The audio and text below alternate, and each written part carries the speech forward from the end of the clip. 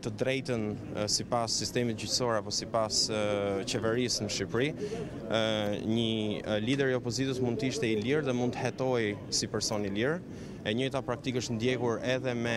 deputetë, ish ministra, ministra, ish kryeministra në Shqipëri, dhe gjykojmë që e njëjta gjë mund të bëhej dhe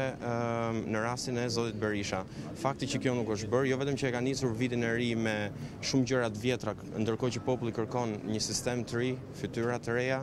një mentalitet të ri të injektuar në Shqipëri, një mënyrë të ndryshme të bërit politikë, në mënyrë që t'i afrohemi Europës ashtu siç mendojmë, në mënyrë që të bëjmë gjëra më mirë për të shtyrë më tej inovacionin në vend, për të shtyrë sistemin arsimor dhe çdo gjë tjetër. Duke u sulmuar opozita, unë gjykoj që Opresohet dhe shtypet zëri çdo zë kundër në Shqipëri, çdo zë që ka një alternativë ndryshe dhe shënon një një hallkë tjetër apo një marsh tjetër kundër çdo të riu, çdo personi me eksperiencë, çdo intelektuali, çdo personi të thjeshtë në çdo lagje të Tiranës dhe Shqipërisë që ka një mendim ndryshe ndaj të gjithë sistemit që është instaluar. Ne gjykojmë që kjo situatë duhet ndryshojë me patjetër dhe kjo fillon nga ky mbledhje spontane sot, do të vazhdojmë më tej me shumë me shumë milestones, me shumë vendime të tjera që do merren në ditët në vijim. Po. Kjo është një mbledhje shumë emocionuese për të gjithë neve, siç e tha dhe Klea nga departamenti Brain Gain ishim mbledh për të pirë një kafe, për t'i uruar festat njëri tjetrit dhe kur pamë këtë mbledhje demokratëve këtu nuk kishim si mos i bashkoheshim, është shumë emocionuese që në Shqipëri ka akoma demokratë, ka shqiptarë që refuzojnë instalimin e një sistemi autokratik, refuzojnë instalimin e një republike si të Vladimir Putin në Rusi apo të Lukashenkos në Bjelorusi. Kryetari i opozitës, edhe pse është në arrest shtëpie, është Sali Berisha, Dhe ne kemi ardhur këtu që ta mbështesim atë sepse dhe njëherë e, e përsëris neve refuzojmë instalimin e një autokracie në Shqipëri, një vendi anëtar të NATO-s. Ne nuk jemi as Rusia, as Bielorusia, jemi një vend anëtar i NATO-s, jemi një vend që duam të integrohemi në Bashkimin Evropian dhe një vend pa opozitë nuk mund të integrohet në Bashkimin Evropian. Unë dua t'i bëj thirrje të gjithë atyre që duan t'i bashkohen këtij aksioni, siç si unë që kam ardhur për festat e fundvitit në Shqipëri dhe të gjithë anëtarët e tjerë të departamentit Brain Gain, të vijnë këtu të japin suportin e tyre, sepse ne sot nuk japim vetëm suportin tonë për Sali Berishën si individ, por japim suportin tonë për kryetarin e opozitës, japim suportin tonë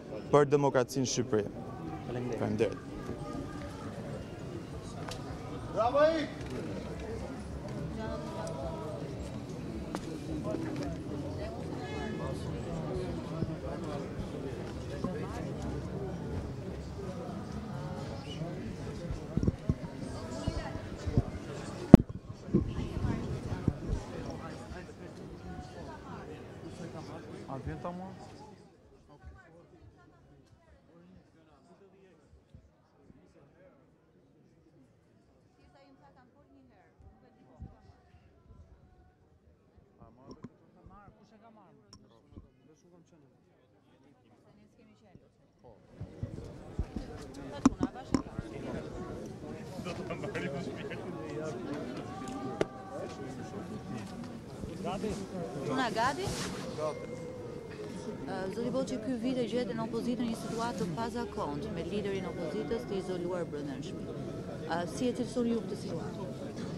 Situata është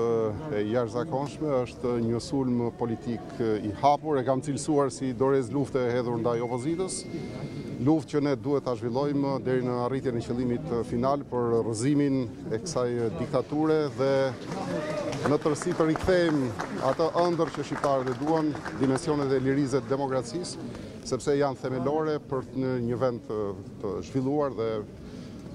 i cili synon që të bëhet pjesë e Bashkimit Evropian. Njerëzit kanë ardhur sot në mënyrë spontane për të shprehur jo thjesht solidaritetin e tyre, por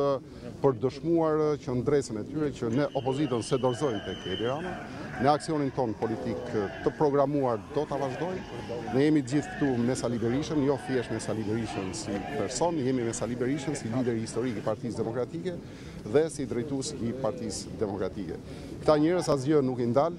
në qëllimin e tyre, qëllim që nuk është thjesht i tyre, por është një qëllim për familjet e shqiptarëve, për vendin, për atdheun. Është qëllimi kryesor i opozitës, është tek e fundit misioni i saj dhe ky mision dëshmohet sot, do të dëshmohet akoma më shumë në vazhdimin e aksionit politik në sallën e parlamentit nga deputetët, por edhe nga organizimet e tjera protestuese që do ketë Partia Demokratike. Jemi një vit e gjysëm larg zgjedhjeve parlamentare, tashmë që lideri i opozitës është i izoluar, a bëhet më e vështirë situata për demokratët për opozitën? Situata për demokratët dhe opozitën nuk ka qenë fare e lehtë dhe e thjeshtë përgjatë gjithë këtyre viteve. Sulmet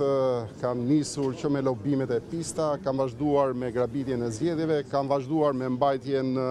pezull të statusit juridik të Partisë Demokratike dhe janë finalizuar me arrestimin e Sali Berishës. Pra kjo situatë nuk është e re sot, nuk është rrufe në qiell të pastër, është e programuar e projektuar nga ai që sot fshihet nga Edi Rama i cili përdor drejtësinë si detashment politik të Partisë Socialiste për të goditur opozitën. Reagimi ynë do vazhdojë, do jetë më i fortë, sigurisht pengesat janë, por Kjo na motivon që të jemi më të fortë për të përballur këtë sulm ndaj opozitës dhe për të vazhduar aksionin tonë politik duke e rakorduar pastaj edhe me vitin zgjedhor. Nuk e harrojmë që jemi në vit zgjedhor, çdo aksion është komunikim me qytetarët, është thirrje për solidaritet dhe mbështetje nga ata, është edhe një lloj parashtrimi, besimi, shprese, se është Partia Demokratike alternativa dhe se tek ajo duhet të mbështeten të gjithë ata që duan një Shqipëri vërtet europiane. Faleminderit.